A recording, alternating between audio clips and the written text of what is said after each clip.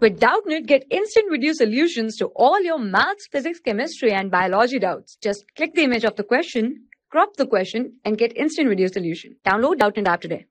Hello students, in this given question, we need to perform the oxidation of benzene by using this vanadium pentaoxide which is given as V2O5 in the presence of air. So basically what is going to be the product that we need to identify whether it will be benzoic acid or it will be benzaldehyde or it is going to be benzoic anhydride or it's going to be maleic anhydride. So need to identify from the following four options. So first of all perform the oxidation reaction so we are having benzene which is of the formula C6H6. So this is being containing the double bonds, alternate double bonds.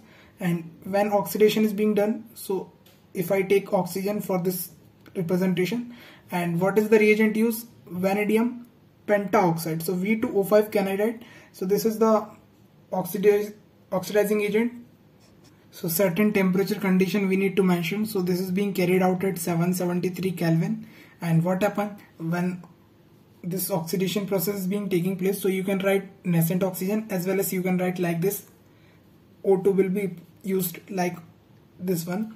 And this cleavage of the bonds will take place and correspondingly we are going to get the product of maleic acid first which is having the formula of CH and C double bond OH this is being linked with double bond CH C double bond OH so this is what maleic acid so maleic acid was produced. Now it undergo dehydration or what we call removal of water molecule. So this will be removed out and final product that we are going to get is being represented over here. So this is going to remove out water molecule. So we can write like this and the corresponding product obtained is maleic anhydride.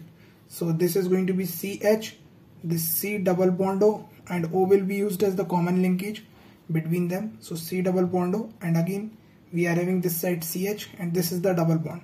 So what is this form called? It is called as maleic anhydride. So this was the following answer for the given question.